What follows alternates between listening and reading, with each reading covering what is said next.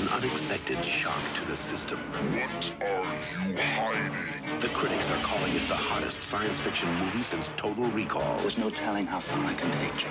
The best computer animation since Terminator 2. The Lawnmower Man does for yard men what the hand that rocks the cradle did